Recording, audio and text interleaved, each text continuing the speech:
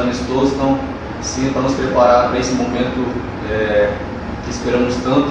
E o ano 2022 vai ser, 2023 quer dizer, vai ser um ano é, diferente do que foi 2022, tenho certeza disso.